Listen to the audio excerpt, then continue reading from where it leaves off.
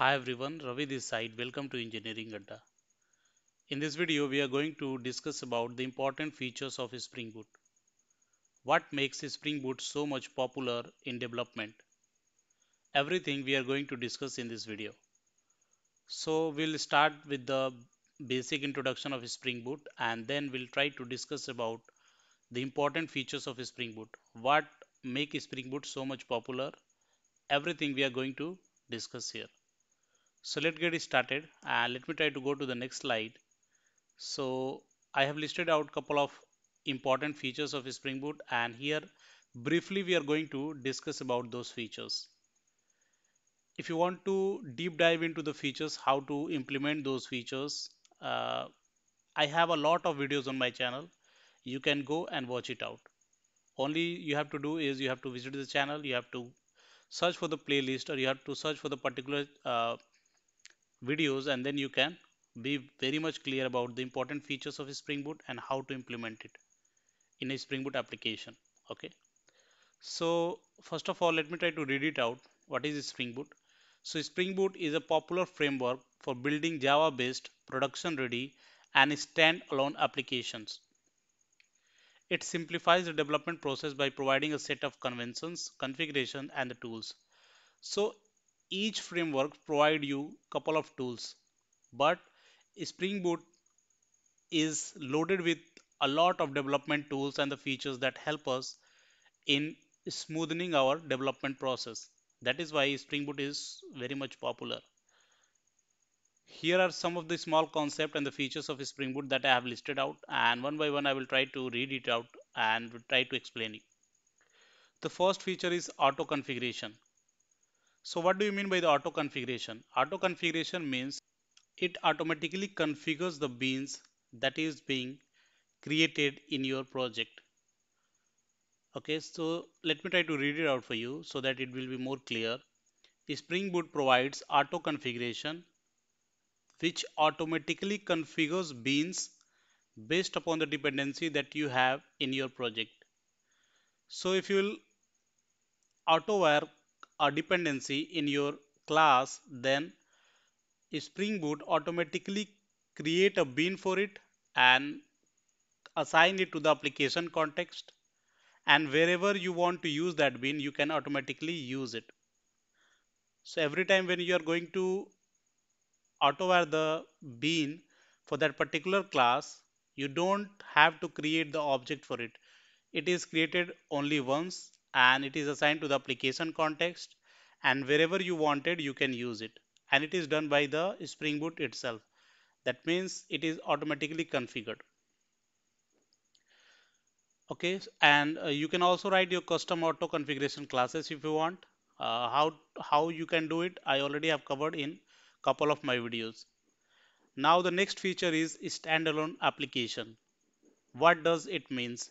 It means that you can create a standalone application which can run in itself okay? So spring boot application are designed to be stand alone. Stand alone means it is standing alone. It does not require any other things to make it up and running okay? So spring boot application are designed to be standalone meaning they can be run with a simple java minus jar command and they come with an embedded web servers like Tomcat by default. So when uh, in the earlier days when we were developing a web application, we need an external server to deploy that application and run that application on the external server. But nowadays, the Spring Boot provides the embedded servers in it so that it make the Spring Boot application stand alone. It does not depends upon the external servers. Okay, that is what it is told here that Spring Boot applications are designed to be standalone, meaning they can be run with a simple java jar command and they come with an embedded web server like Tomcat. Okay, uh, let me try to explain you the meaning uh, that they can be run with a simple java jar command. So let's say you have created one Spring Boot standalone applications and the embedded Tomcat server is there inside it. Then if you want to deploy that server or if you want to run that server you have to take uh, you have to make that uh, application in a jar file and then simply with the help of this command java manager you can make your application up and running. Or you can deploy your application to the uh, let's say cloud and make your application up and running there itself. So this is what it means. So here uh, the conclusion is spring boot help us to create a standalone application standalone means it does not require anything uh, from the external world to make it up and running. Okay? Now the third feature is spring boot starters. So starters are pre-confined templates that simplify the inclusion of the commonly used dependencies. So spring boot starter is uh, nothing but is starter dependency that you can include in, in your spring boot application while you are going to develop your application so that a small chunk of work is automatically done so it is a predefined template that simplifies the inclusion of commonly used dependencies. For example, the Spring Boot Starter Web uh, dependency includes everything you need to build a web application. So let's say you are going to create a Spring Boot application and you want to create that Spring Boot application as a web application.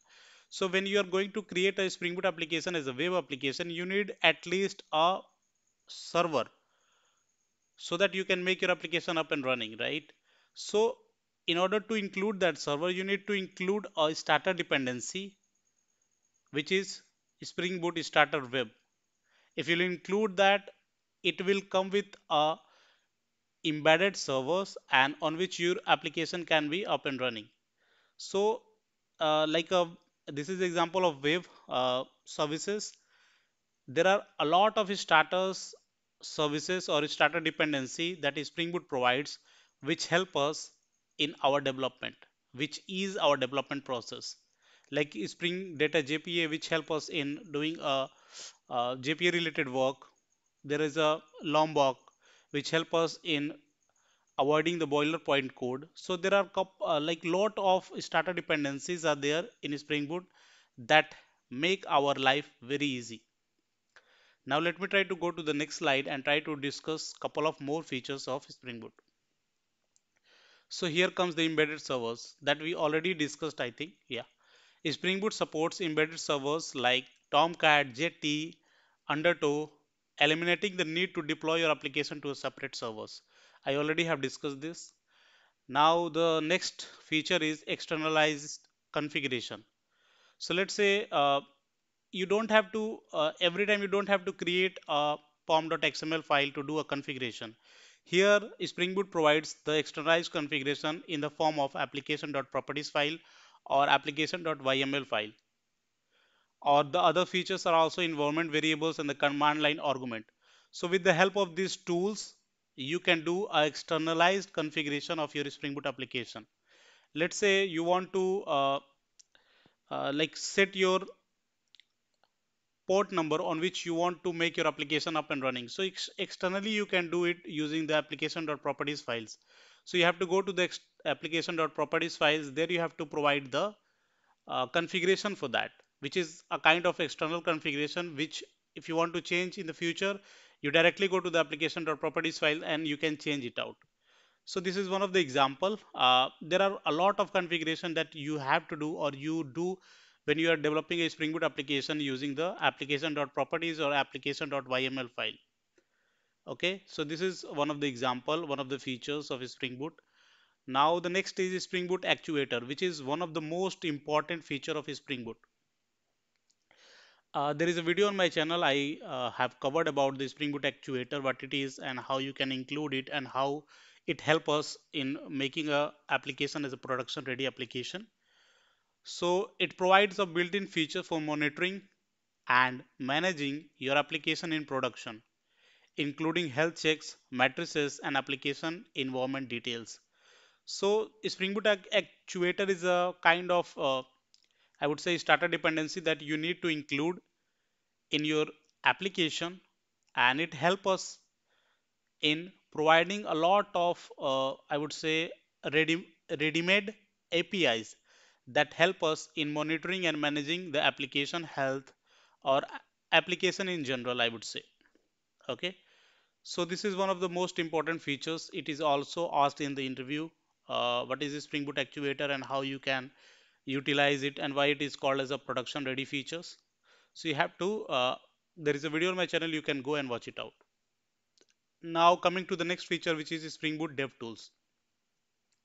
This is also a kind of a starter dependency that help us in automatically restart your application.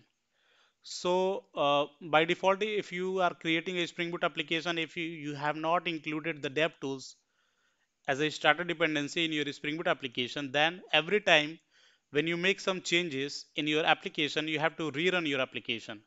But when you have included the dev tools in your Spring Boot application, what you have to do, you have to make your changes and then you just have to save your changes and then it will automatically restart your application and your new changes are loaded. So this is uh, also a very uh, like developer friendly tool. Uh, yeah, this is one of the cool feature of Spring Boot application. These tools provide automatic restart, browser live reload and other development time features to enhance the development experience. Now let me try to go to the next slide and try to discuss a couple of other features. So one of is Spring Initializr. Uh, this is uh, I would say website or you can also see this uh, tool in the IntelliJ Ultimate version or STS version where you can directly go and create your Spring Boot application. So you can say a web-based tool that generate a basic Spring Boot project structure with your chosen dependency and the settings. Okay, so this is one of the site or you can say a tool that help us in creating a Spring Boot application where you can directly go and provide your details of the Spring Boot applications, artifact name and uh, artifact ID, sorry, and the other settings and the dependency that you want to choose, everything you can go there and use it and then create your application. Now the next feature is, is Spring Boot profiles. Uh, currently I have a video on my channel which is the latest video which is about the Spring Boot profiles uh, which says how to use the Spring Boot profiles and how to set the Spring Boot active profile.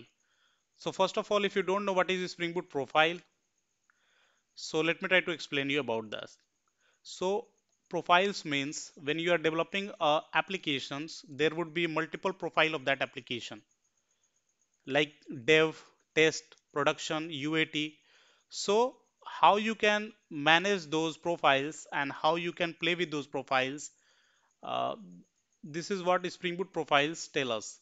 And let me try to read it out for you. Is profiles allow you to configure different part of your application for a different environment such as development, testing and the production. So how to use it, I have a separate video on my channel. You can go and watch it out. Now the next feature is Spring Data JPA. So you might have heard about the Spring Data JPA. Uh, let me try to read it out. This is one of the commonly used feature of Spring Boot application. Spring Boot simplifies the use of JPA, which is Java Persistent API, for database access. Okay, it includes automatic repository creation, query methods, and transaction management. So this is one of the starter dependency that you need to include in order to simplify your database work. So Spring Data JPA provides a list of, uh, I would say, features that help us in automatically creating the repository and couple of methods it also have provided which help us in uh, interacting with the database like save, find all, uh, find by name, delete, all those methods are automatically created by the JPA and that help us to interact with the uh, database. Okay.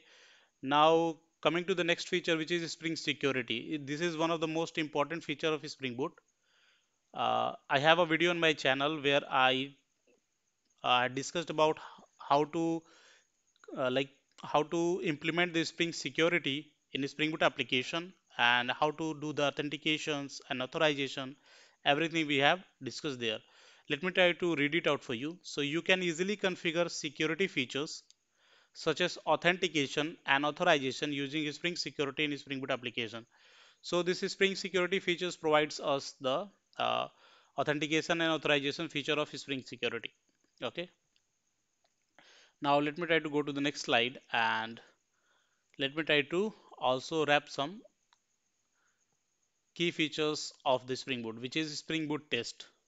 So Spring Boot provides a variety of testing tools like JUnit and a uh, couple of other testing tools are also there and uh, annotations related to the Spring Boot test is also there such as Spring Boot test and mock, mock MVC. There are a lot range of uh, tools and the annotations are there for the testing in Spring Boot. You can go and watch it out on my channel. I have covered it in a uh, separate video. So this these features provide us uh, testing related tools and uh, annotations that help us to do the testing in Spring Boot application or you can say to simplify the testing of your Spring Boot application. Now coming to the next feature which is Spring Boot CLI.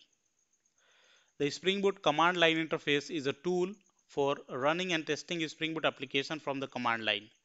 Okay, so this is one of the uh, tool which Spring Boot provides using which you can run and test your Spring Boot application through the command line. Now the next feature of Spring Boot is RESTful Web Services which is one of the most important and commonly used features of the Spring Boot. Spring Boot is a well suited for building RESTful web services using Spring Web MVC or Spring Web Flux for the reactive application. So if you don't know how to develop a Spring Boot Web MVC and how to create a Spring Boot application for the CRUD operations and uh, what is Spring Web Flux, how to do a reactive programming. So everything is covered on my channel. You can go and watch it out. So this is one of the features Spring uh, RESTful Web Services this is one of the most important features of Spring Boot uh, where we where we can develop a Spring Boot WebMVC application and Spring Boot WebFlux applications. Now the next feature is Spring Boot data source. So Spring Boot simplifies the configuration of the data sources including support for the JDBC, JPA and the non-SQL databases. So this Spring Boot data source is a kind of tool that help us in configuring with the uh, I would say JPA or JDBC and the no like different type of databases. So this is a kind of tool that help us in interacting with the different kind of databases.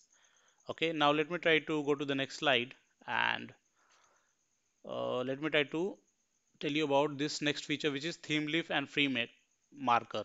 Okay, so Spring Boot supports template engines like Thymeleaf and FreeMarker for server-side rendering in the web application. So this help us in server-side rendering of the web application. Okay. Now the next feature is Spring Boot microservices. Nowadays you have uh, heard a lot about the microservices architecture and Spring Boot is very much helpful in developing a microservices so Spring Boot provides a lot of features that help us in development of the microservices. So this is one of the key features uh, I would say about the Spring Boot that it is the development architecture like microservices. So it is commonly used for building microservices due to its ease of use, embedded servers and support for the containerization. Okay. Now the next feature is Spring Boot annotations. So Spring Boot has a lot of annotations or I would say a range of annotations that help is help us in the development of the application. So this is also one of the features Spring Boot annotations. Spring Boot provides a range of annotations for marking classes and the methods simplifying the various aspects of the application development. So these are the important features of the Spring Boot. If you like the video, please hit the like button and please subscribe the channel for more such content. Thanks.